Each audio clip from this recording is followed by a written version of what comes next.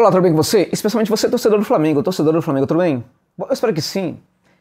Olha só, neste vídeo, vamos falar sobre o Neto, que é especulado no Flamengo, também o Marquezinho, e de bônus. Vamos falar de outro goleiro também que poderia chegar no Mengão. Três opções de goleiros para o arco do Flamengo, até porque o Mengão tem no seu arco, gente, o Diego Alves, que é um goleiro interessante, mas que já deu. Já deu, meus amigos. Já deu. Ah, mas é, isso é ingratidão. Tá tudo muito bem pago, gente. Se ele em algum momento foi importante para o Flamengo, o Flamengo foi muito importante para ele. Muito mais importante para a carreira dele. E detalhe, ele não ganha pouquinho, né? Ganha um ótimo salário, tá tudo muito bem. Aliás, o Diego Alves era perito lá na Espanha em pegar pênaltis. Em pegar pênaltis. Pegou muito pênalti de Cristiano Ronaldo e Messi, muitos. Ele também chega ao Flamengo, ele também chega ao Flamengo para oferecer este tipo de qualidade ao jogo do Mengão? Ofereceu? Não, né? É, mas já deu. Já deu. O Hugo é um goleiro ainda em formação, precisa de muita formação. Acho que o Hugo precisa, inclusive, ser recolocado na canteira para aperfeiçoar alguns detalhes do seu jogo. Um goleiro muito promissor, bem interessante o Hugão, bem interessante, mas a gente percebe que ele ainda precisa de um pouco mais de construção, o que é normal, jogador muito novo. Às vezes parece que já está pronto e nem sempre está. É um bom goleiro, que vai crescer muito, provavelmente, no futebol brasileiro, mas ainda precisa de construção. O Hugo Souza. Tá bom, gente? Então, temos o Neto. O Flamengo agora se interessa pelo Neto, que é o goleiro do Barcelona. E também há uma especulação em torno do nome do Marquezinho, que é o goleiro do Porto. E tem outro goleiro que não é. Que não, não, o Flamengo não está propriamente interessado, mas que eu vou falar aqui no final do, do vídeo. Fica até o final para eu falar para vocês aqui sobre este goleiro bônus.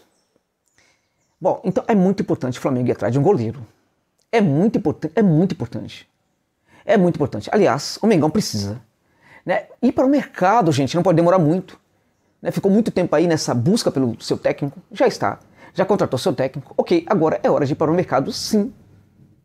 Buscar, se reforçar. O seu elenco tem vários aspectos, em vários aspectos, e precisa de qualificação para o jogo que o Paulo Souza gosta. Ao contrário do que muita gente está dizendo. Ao contrário do que muita gente está dizendo, para o jogo do Paulo Souza, o Flamengo precisa se reforçar. O Flamengo precisa se reforçar. O Flamengo precisa de alguém na lateral esquerda, sim, para ontem. O Flamengo precisa ah, de um, é, é, talvez de um, de um, de um zagueiro, né? De um zagueiro, ah, talvez não precisa de um zagueiro. Né? A gente tem o Rodrigo Caio, que é meio de vidro, né? Tocou, pum, quebrou. Então é complicado. É bom, é, mas pim, quebrou, é de vidro. Aliás, Convém, na, na Gávea é difícil, né, gente? É, parece que é difícil os caras fazerem uma reflexão em torno do, da importância do jogador, do custo-benefício do jogador e tudo mais. É claro que o, que o Rodrigo Caio é um baita zagueiro, mas há quanto tempo ele vive na enfermaria no Flamengo? Não está na hora de pensar. Adianta ter esse grande jogador e não poder contar com ele quase sempre. Adianta isso. Porque na verdade, vejam só, é, é durante muito tempo da temporada, o torcedor do Flamengo precisou contar com Léo Pereira, Bruno Viana.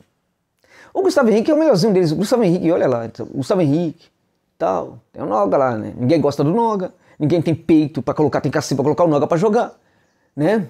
Nenhum técnico foi corajoso para bancar o garoto da base. Mas o Flamengo precisou, gente, buscar esses caras. Por que, que jogou tanto? Porque o Rodrigo Caio estava na enfermaria. Porque o Rodrigo Caio estava na enfermaria porque ele está sempre se quebrando. Então, independente disso, o Flamengo precisa de um zagueiro. Imaginando o Rodrigo Caio muito bem.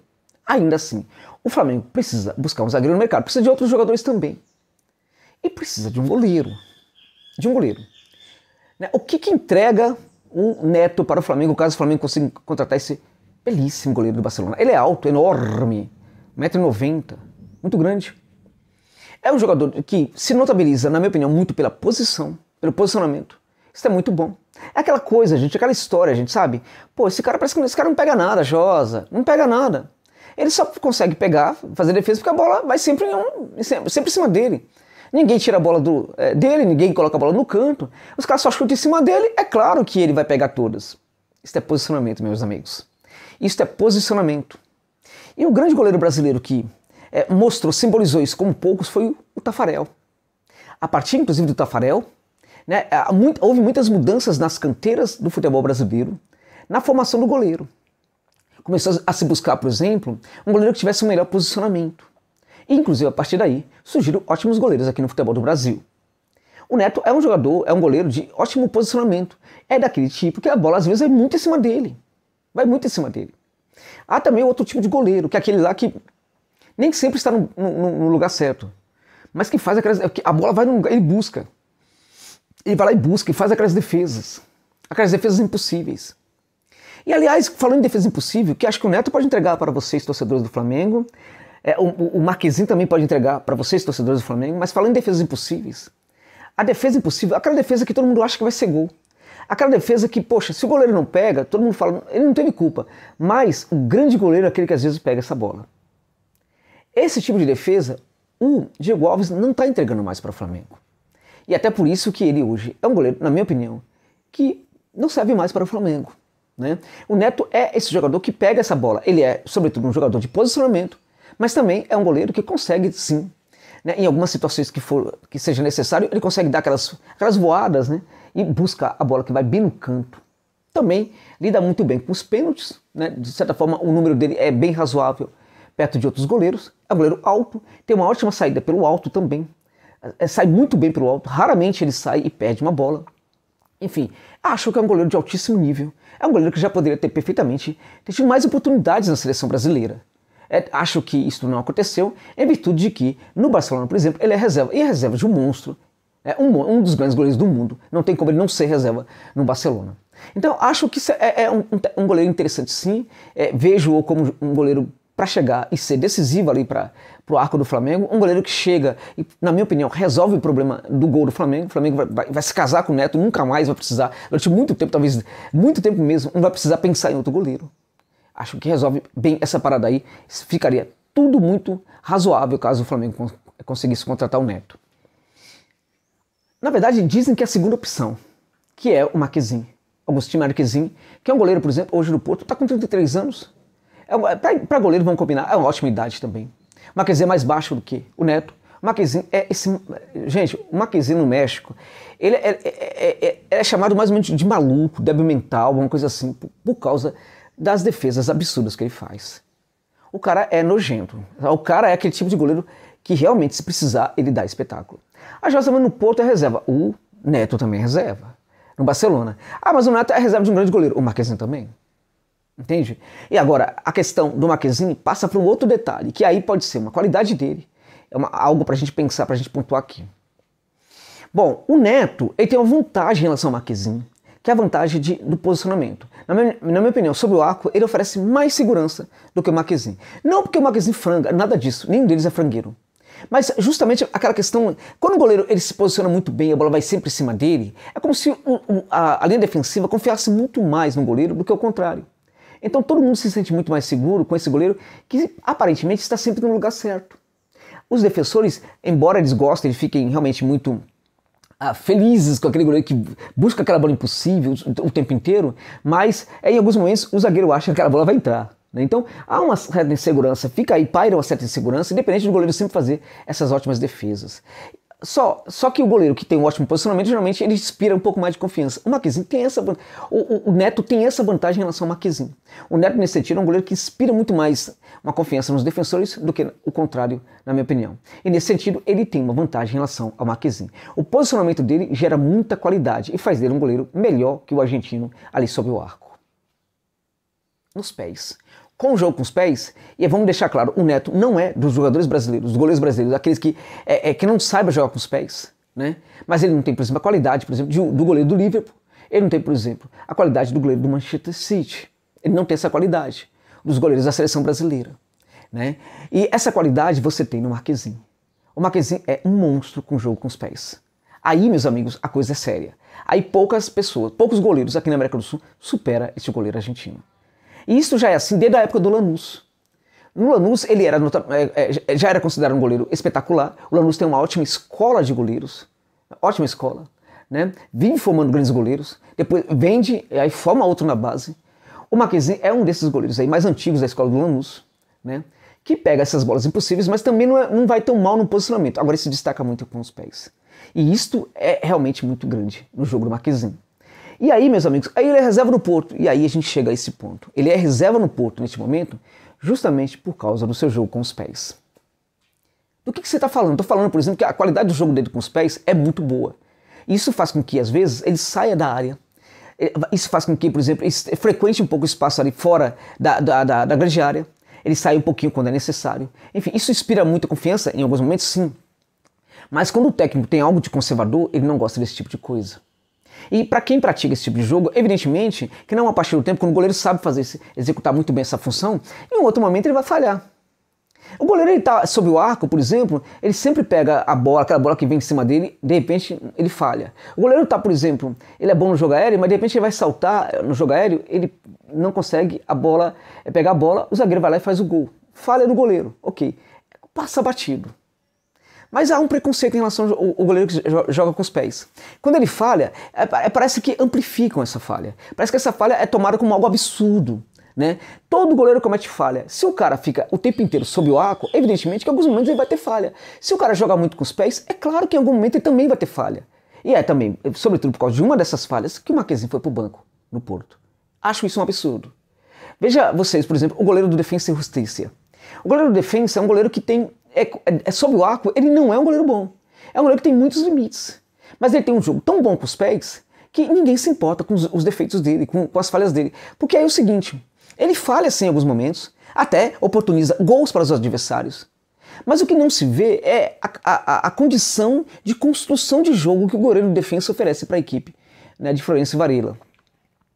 E às vezes não, é, passa um pouco batido isso. Porque o goleiro geralmente não é aquele cara que dá assistência ou pré-assistência, ou que faz gol. Então, por causa disso, né, a gente não consegue ver, por exemplo, o jogo do goleiro como a gente vê, por exemplo, um goleiro construtor, como a gente vê, por exemplo, no meio campista que se aproxima da área. Mas esse, eh, qual é a vantagem de se ter um goleiro como de, do defensa e também do, do, o Marquezinho do Porto jogando muito bem com os pés? É que com esse tipo de jogo, com essa, esse tipo de função bem executada pelo goleiro, é, todas as linhas podem avançar. Então você está pensando a construção do jogo a partir do goleiro, isso significa que todo mundo se obriga a ser construtor, todo mundo é jogar um pouco mais para frente nessa, nesse contexto de, de construção. Então, na verdade, o Flamengo com o Marquezinho teria, por exemplo, a possibilidade de, pensando no Flamengo com uma lente 3, com, por exemplo, Felipe Luiz jogando ali a, a na, na, zaga junto com o Rodrigo Caio e com uh, o Davi Luiz, né, ou juntamente com o, Rodrigo Caio, é, o Davi Luiz e um outro zagueiro, caso o Flamengo contrate, né, a gente está pensando, por exemplo, que esses jogadores, Davi Luiz, né, o Felipe Luiz, poderiam avançar um pouco mais. E esses goleiros chegando perto do meio de, esses jogadores chegando perto do meio de campo, favoreceriam demais a criação do jogo do Flamengo. Porque o, Davi Luiz é monstro, é um jogador que pode trabalhar muito bem na construção, se joga, colocado um pouco mais à frente. Ele sempre fez isso quando esteve na Premier League. Né? E também o Rodrigo Caio também pode executar esse jogo. Isto pode ser oportunizado quando a equipe tem um goleiro que saiba jogar muito bem com os pés. É claro, volto a dizer que o goleiro pode falhar em alguns momentos, mas o que não dá para perceber é, é, facilmente é o quanto ele contribui para a construção. A mentalidade de construtiva de jogo também se amplifica numa equipe que tem um goleiro que joga com os pés. É por isso que a, os grandes técnicos do futebol mundial querem goleiros que jogam hoje em dia com os pés, que sejam muito bons com os pés. Né? Por que, que o Guardiola, que é um goleiro que joga com os pés, por que, que o Klopp, que é um goleiro que joga com os pés, eles estão errados, são loucos? Será que eles são loucos? Não, não são loucos. Louco é a cabeça de um técnico conservador que manda um goleiro para o banco quando ele erra um lance, por exemplo, um lance ele acaba errando e aí o goleiro vira reserva. Então a crítica que se faz, que alguns estão fazendo nas redes sociais, sem conhecer inclusive ao trabalho de Marquezinho, é injusto. É injusto. Vocês não sabem o que esse goleiro, como esse goleiro é respeitado no futebol mexicano. Ele, ele passou, por exemplo, a, a, a ser uma espécie de é, é, de referência para goleiro, para goleiro espetacular no futebol mexicano, gente. Goleiro que não somente pega essas bolas malucas, né? Mas goleiro que quando, por exemplo, ele é muito rápido, Marquezinho. Hoje com 33 anos, ele também é um goleiro muito rápido. É um cara que se tivesse na linha seria um dos mais rápidos do time. Então, por exemplo, quando ele vai um pouco à frente, ele também volta. Tem um lance no futebol mexicano né, que é, é, ele vai construir até o meio de campo. E aí o que acontece? Aí alguém pega uma bola e, e faz um, um, chute, aquele é, chute de longa distância pro gol, né? Aquela por elevação, né? Então o Marquezinho sai correndo para buscar essa bola. É impressionante, porque todo mundo acha que ele não vai conseguir pegar e ele consegue salvar porque ele é muito rápido também. Então o Marquezinho seria uma opção B. Eu acho que o Neto está de bom tamanho, seria um grande goleiro para o Flamengo, caso o Flamengo consiga contratá-lo. Mas se o Flamengo não conseguir trazer o Neto, o Marquezinho também é um grande goleiro e acho que ele também cairia muito bem no Mengão. Qual é o terceiro goleiro? O bônus, para mim, esse bônus é o Martim Campanha. Martin Campanha não é tão bom sob o arco como Marquezin e como Neto, mas ele também tem um jogo com os pés que é espetacular. Quem é o Campanha? Aquele goleiro que esteve no Independiente quando o Independiente disputou a Sul-Americana, a final da Sul-Americana contra o Flamengo. É, hoje ele está no Al da Arábia Saudita, o contrato dele vai até o mês 6 de 2000 e 22. Ou seja, já pode assinar um pré-contrato, ou então já pode até ser negociado hoje, né, com valor ali razoável, já daria para ser negociado hoje, até porque ele não quer ficar mais na Arábia Saudita. Isso é informação que eu tenho, isso não é, não é, não é, não é, não é filho, não é nada, é informação. Ele não quer continuar na Arábia Saudita. Então são esses, é, esses três goleiros aí. O Neto estaria de bom tamanho, baita goleiro, gosto demais. O Marquezinho, uma opção, né, plano B, de excelente nível também. E se nenhum dos dois for possível, por que não também o Martim Campanha, que está hoje no Albertinho da Arábia Saudita. Obrigado pela gentileza de ficarem comigo neste vídeo, meus amigos minhas amigas. Até o final.